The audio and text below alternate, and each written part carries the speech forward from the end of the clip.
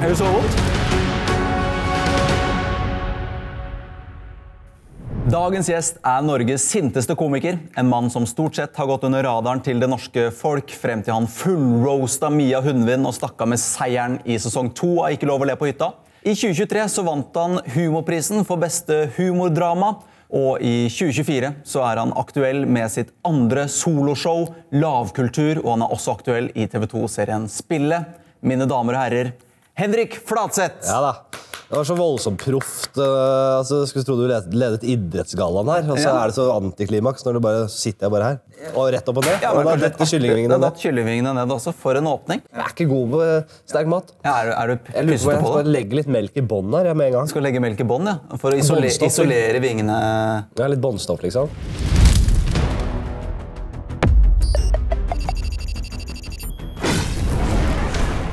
Kjør den rett ned i brødhølet. Det her er bare deilig. Utrolig undervurdert at du bare kan holde i den uten å bli skitten. Det verste er at jeg kjenner den river litt, eh, selv denne her. Altså. Men jeg kalte deg jo Norges sinteste komiker. da. Ja, jeg, jeg, jeg, jeg skjønner hva, hva du mener med det. Står nesten og tramper og Nei, Nei! Nei, nei, nei, nei! Det er verktøy for å Det er komisk verktøy. Det er billig. Så basic som hammeren sjøl, altså. Ja, Du føler at vitsen ikke kan stå på egne bein? Ja da, det har At mye du, med det At du skriker hjem? Nei da, ja, Det er jo selvfølgelig ofte en sånn go to komisk element. Men også, jeg syns det er litt gøy, altså. Ja, er det ikke gøy å gjøre det? Det ser ut som du koser deg. Kan du ikke se inn i kamera og, og, og, og klikke litt der? Hva, hva i faen?! Hva i helvete?! Er det du driver og filmer, da?! Sitter du der og tror og, og, og tror alt Slutt! Ja! Ikke på min vakt! Ikke på min vakt! altså, det der sinna-greiene jeg, jeg behersker uh, sinne, å være sinna. Eh, og det har litt med at jeg var ganske sinna som liten. Man skjønte ikke helt verden. og Jeg, jeg vet ikke, jeg hadde en sånn der, jeg kunne lett hente fram en aggresjon. Jeg ja. følte ofte på urettferdighet. Jeg kunne fort bli litt sånn forbanna på ting. Føle meg urettferdig behandla. Hvis det var sånn juksing på løkka, liksom, eller hva faen det var. Ja. Så kunne jeg bli en av de, der, en av de ungene som ble illsint. da.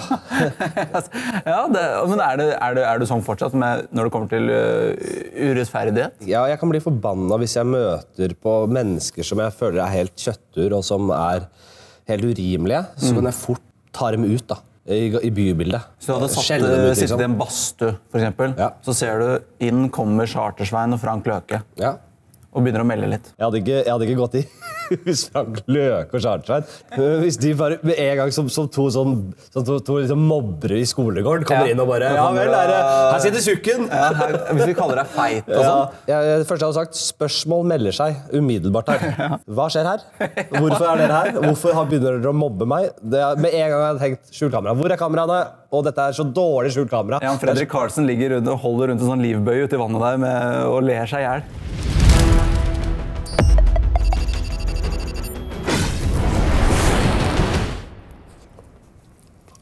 Ja. Det er jo nesten en bedre enn den forrige.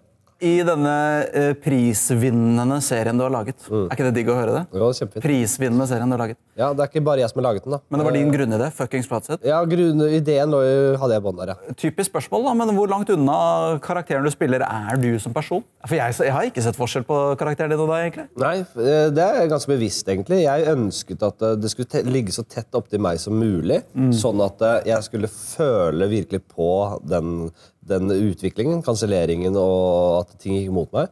Det syns jeg var interessant, så jeg kjente på ekte på de tinga. Eh, og så syns jeg eh, på en måte eh, vi, vi tar jo veldig utgangspunkt i det ekte livet mitt og universet eller verden jeg lever i, med standup-miljø rundt der og samboer og bikkje, og det- hunden min spiller jo hunden min og hele bakka. Ja. Så øh... Overspiller til tider, men Overspiller litt. Ja, litt, grann. litt sånn, være, Jeg kjenner ikke jenta igjen. Det får være, nei, ikke sant? Gått inn i rolle. Ja.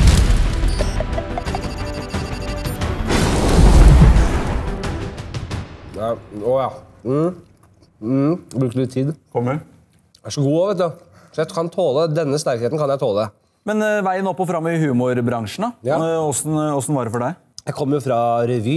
Eh, og så hadde jeg gjort uh, skuespillerting på Romerike folkehøgskole og søkt teaterhøgskolen og alt. Og så kom jeg ikke videre Jeg var på tredjeprøve, altså jeg kom langt på teaterhøgskoleopptak. Flere år på rad. Og Ja. så kom jeg plutselig ikke videre i det hele tatt. Så da Demotiverende. Demotiverende, og veldig sånn, da ble drømmen litt knust der. Jeg, jeg må i hvert fall finne på noe nytt. Eh, jeg føler at Teaterhøgskolen er liksom det eneste jeg tenker er bra nok også. ja. Du kjenner den litt? Men jeg, jeg, jeg begynte i hvert fall med standup. Det bare gikk dritbra. Jeg hadde hele den derre Du hadde, du, du, altså, du hadde jo så flying start at, uh, at uh, det første soloshowet ditt var jo det var, Du hadde ikke holdt på så lenge da? Nei, jeg gikk rett på. Og, Ja. og, og så gjorde jeg Komiprisen på altså Det der billettkontrollgreiene var jo Ja. TV-sendt. Og det, Thomas og Harald så det, og de syntes det var jævla gøy. Så da kom jeg inn i sof- Senkveld-gutta? Ja, da kom jeg inn i to, eh, sofaen til eh, Senkveld og for å snakke om soloshowet. Ingen visste hvem jeg var. eller noe. nei. Men du, du jakta jo Teaterhøgskolen skuespiller, og det, er jo, det anses jo for å være høykultur. Og så ble det standup i stedet, og nå heter showet ditt lavkultur. Ja. Føles det som et nederlag? Det har ofte blitt sånn, brukt sånn i negativ uh, ordlag. da, lavkultur, Men jeg hører at man må eie det. Det jeg elsker med standup, er jo at det er så fritt. og eh, Man kan bare snakke om de tinga man selv syns er gøy. Ikke tenke på noen ting. bare... Men i showet ditt du, det står at du, hvis du leter etter en rød tråd, så kan du dra til helvete. Ja, og det har vært en veldig sånn trend i norsk standup at det liksom må ha en rød tråd. Det må ha en tematikk. Det må handle om noe. Skilt mann sveiper til høyre, som er Bjørn Hennings show. Ja. Pappaliv eh, med Vidar. Og det tror jeg er et blindspor. Du tenker mer amerikansk, du. ja, jeg gjør det. Jeg tror det viktigste for folk er at de kommer og ler seg i hjel. Liksom. Og tror du folk går fra et standup-show og bare Jo, jævla gøy, men uh, det var ikke noe rød tråd her.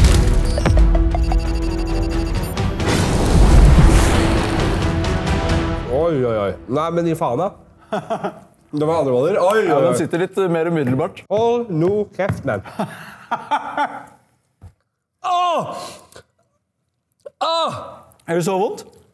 Da kan han Men du tar hele. Brusta. Det var ikke seterstell i nærheten av. Jeg føler at du kjenner på det nå, eller? Den her Oi, oi, oi! Hva skjedde nå? Å, fuck off. Å, fy faen. Melk er verre når det er sært. Hvordan går det? Ja, nå vet jeg ikke hva jeg skal gjøre. Ja, hva gjør vi nå? Ja, er du, går det bra? yoghurt? Vi har yoghurt. Har vi yoghurt? Å, fy faen. Har vi hva? Jeg føler at jeg må si på lufta at jeg har fått en som er hakket under Henrik. Bare fordi at jeg holdt på å drite på meg i to døgn etter at jeg satt der med Alexander Seterstøl. Nå er det tilbake. Faen, altså. Det går ikke an å ha så bra overgang. Ja, det sitter greit, den her. Fett å være United-fan om dagen, eller? Faen, hold kjeft. Det var frustrerende. Sånn, hver gang du tror at uh, Hver gang du tror at det, nå, nå er jeg på gang her. Det var bare ikke gøy, det her. Å, fy faen, altså. Men åssen er det å være United-fan, da? Hver, hver, hver gang du tror det er bra, så blir det dårlig. Så taper hjemme mot Fulham, liksom. Du er, vet jo alt om det. Du har vært Liverpool-fan. Jeg synes vi har vært gode. jeg Glemt åssen er det. Nei, Nå syns jeg det ble bare ugreit. jeg. Men at du ikke reagerte mer på din forrige, syns jeg er helt sjukt. Nå føler jeg at vi er på sånne julebord med gutta der man har drukket akevitt, og plutselig har det bare bikka over, så alle er driting. Så bare uh, ingenting henger på greip. Mer yoghurt. du har papir til å snite deg mer yoghurt. Ja, det var helt utrolig ubehagelige greier, altså. Kjør på. Ja, nå merker du, merker du at du lever. Sinnssykt høyt på den skalaen. Jeg vet ikke nøyaktig tallet. Schofield-skalaen. Kom, kom på skjermen før det. Det er jævlig harry, den der skalaen. Er du anti-Schofield-skala? Jeg var på sånn hot temper, sånn som er litt sånn spicy burgerrestaurant. Ja. Det var så jævlig harry, han derre servitøren. Så han gikk rundt og bare So, you, you guys ready? Uh, what do you want? The, the devil? The reaper? ja. Jeg satt og holdt på å fleike han i huet. Men uh, United, da? Nei, men Hvorfor skal du mase om United? Jeg skal snakke om jo det, for jeg vil få fram litt ekte agg, litt ekte aggresjon. Ja, nei, det er selvfølgelig så, så, du ut Når du sitter og ser på United Fullham, og de taper hjemme mot Fullham jeg, er- jeg er ikke forbanna, jeg er mer trist. Jeg er trist. ja. er Går du inn i en depresjon? på en måte? Jeg er også bygd sånn at jeg er eh, Jeg tenker langsiktig da, i livet mitt. Langsiktig strategi, langsiktig tenking. Det er jeg fan av. Så jeg er jo opptatt av prosjektet. Å, fy faen. Den, eh, den er kommet for å bli, den der. Men det du kan håpe på, for å bli. som jeg opplevde litt uh, forrige gang, var at uh, den deg. Så den siste blikket, så du Jeg skal ikke ta den siste. Jeg kan bare glemme. Ikke den siste? Nei, nei, nei. Liten, liten slik? Nei. Liten, liten Michael Jackson Nei. bortpå? Nei. kan ikke ha det. Ikke en liten en? Nei. Jeg er ferdig. Det her, jeg orker ikke noe verre enn det her. Jeg glemmer det. Sånn var å være med i spillet. Ja. Apropos han der Alexander øh, øh, Hva heter det? Menig, han derre menig, menig fuckup øh, bak her. Kompanirekrutt Seterstøl. Jeg ble jo i beef med dama hans. Ja, Martine. Lunde, dere er jo fattigst og rikest i starten av I spillet, ja. spillet. Jeg ga jo helt faen. Jeg satt jo bare og koste meg og drakk vin og, og, og meldte slag med leppa. jeg. Ja. De la jo veldig opp til at her er det fattig mot rik og Det er en fyr sånn. som har brutt, brutt fasten sin. Yoghurten er ned på to sekunder. Eh, nå, nå faktisk, nå løsner det litt, tror jeg. Ja, Deilig. Jeg kommer til å høre fra Jon Christian Elden om et, innen et par dager. Dette var eh, Jo, jeg satt jo og meldte, og det var, de la jo opp, opp veldig greit at her er det fattig mot rik. Ja. Ja, de la jo opp til at det fattig mot rik, så det var veldig lett for meg å sitte og bare kaste hun under bussen. Hun var så dum at hun tok det største beløpet. Hun, ble, hun gjorde seg selv rikest, og, det var, og hun skjønte ikke hvorfor det gjorde at eh, jeg var ute etter henne. Nei. Så hun, hun er sånn Paradise-spiller, vet du. Men når du skal ha de ordentlige sosiale Men sosiale hun var jo ganske close på å faktisk få ut deg, da. Altså Det vet jo du ingenting om. Nei, eller altså, det var jo Så plutselig så kom Dambi og Nei, men du, du, har sett, du har sett en råklipp, det er en, en, en, en ordentlig klippa versjon, vet du. Ja. Å, fy fader, Rasmus. Ok, neste. Skal vi ta neste vinge? Nei, spørsmål. Du tar ikke, du tar ikke den siste? Nei. Den ser litt Nei, men eh, det, det her Jeg sto var opp i dag, så tenkte jeg det, i dag blir det utrolig kult på hot shit-opptak, fordi Henrik er eh, Han er en tøffing. Du biter ikke på med det greia der. Han er en Jeg skal tøffing. ikke ha den vinge. Jeg skal ikke Han har ha vært den. gjennom mye i livet, og en kyllingvinge er liksom ikke det som skal stoppe han. Det, det, det, det våknet opp, og så tenkte jeg da. Vet du hva? Hvis jeg skal ta den siste, da skal jeg ha 70 000. 700 kroner for det. 70 000. 70 000 kroner. 700 kroner. 70 000 kroner. 700 kroner, da? Jeg skal ha får 70 000 kroner. 900 kroner, det er en eh, bot på bussen. Jeg skal ha Du kan, du kan reise uten billett Jeg låser svaret mitt. helt frem til du blir tatt i kontroll. 70 000. Så 900 kroner betaler du cash kontant, og så er du null.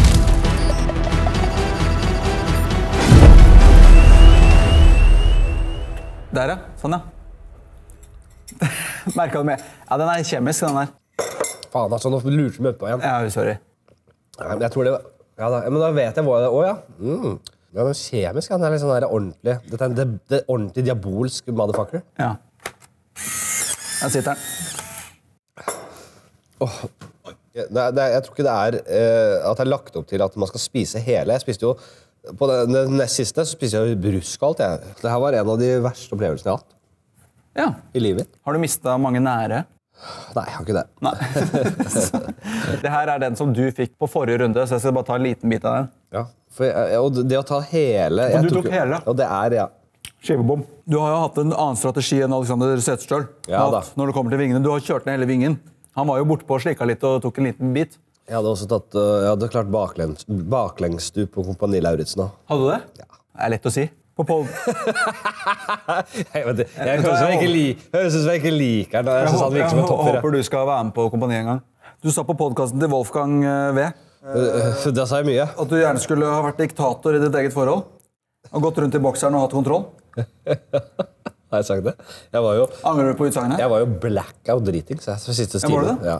Jeg husker ingenting av den siste timen. Og jeg husker jeg hørte på en stund, og så bare, jeg orka ikke å høre mer. fordi da begynte jeg å, og det gikk så sakte. Og jeg satt og drakk sprisvin og sprit, og det er jo sånn fyllepodkast. var det. Ja. Beste tips til de som ser på sånn avslutningsvis, for vi skal runde av nå snart. Ja, Beste tips til Beste tips generelt i livet. Men så er det noe som du tenker du, du gjør som, er, som funker bra. Når du, uh, folk skal selge deg noe på gata Ja. som er jævlig irriterende, du bare si 'Jeg er allerede medlem'. Det blir så god stemning. De bare 'Ja, men Jettebra. Det er veldig bra. Supert', liksom. De har ikke noe mer å si. Plutselig så er det nynazistisk politisk parti som står og prøver å verve nye medlemmer. Allerede medlem. Allerede medlem. Sig heil. Hallo, ja. Sig heil. Sig, sig ja. Sig, sig, sig. Jeg orker ikke mer. Nei, Men det har vært veldig hyggelig å ha deg her, Henrik. Alltid hyggelig. Lykke til med showet Lavkultur. Eh, og godt gjennomført av dere som har sett på også, for at dere har kommet så langt som det her. Og så er det bare å abonnere og subscribe og kommentere under her, rett og slett. Og så ses vi igjen eh, veldig snart. Mm. Jeg skal bare henge opp bildet av deg. Tok et bilde av deg, ble veldig fint. Skal vi se. Det ser ut som Se på det. Det er bra navn, da. Her henger du ved siden av Alexander.